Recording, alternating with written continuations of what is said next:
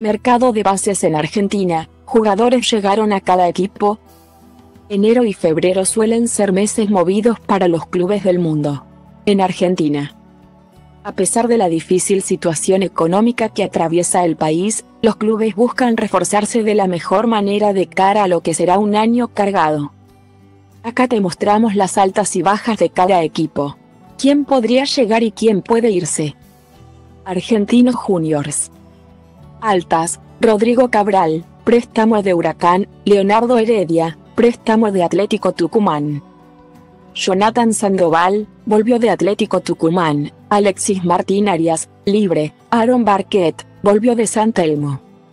Francisco González Metilli, volvió de Central Córdoba, Enzo Ibáñez, volvió de Comunicaciones.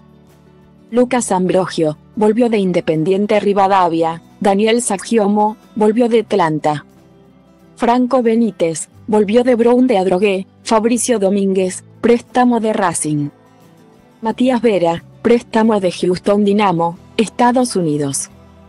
Bajas, Nicolás Reñero, volvió a Racing, Renzo Conechny, préstamo a Almagro, Nicolás Tolosa, préstamo a Barracas Central.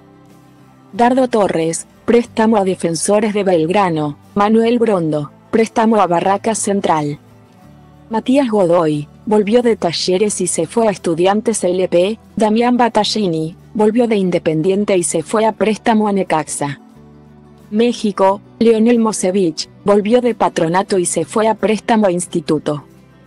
Francisco Ilarregui, volvió de Defensores de Belgrano y se fue a préstamo a Independiente Rivadavia.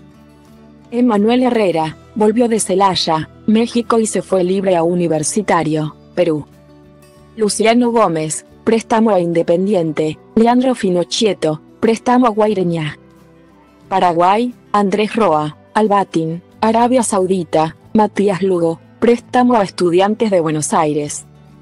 Diego Sosa, volvió de San Martín de Tucumán y se fue a préstamo a Morón, Carlos Quintana, volvió de Patronato y se fue libre a Rosario Central. Altas, Tomás Sultani, San Telmo, Tiago Vanega, préstamo desde Racing, Carlos David Ruiz, DT. Tobías Zárate, préstamo de Vélez, Gonzalo Mucia, volvió de Sol de Mayo, Santiago López, volvió de Sol de Mayo.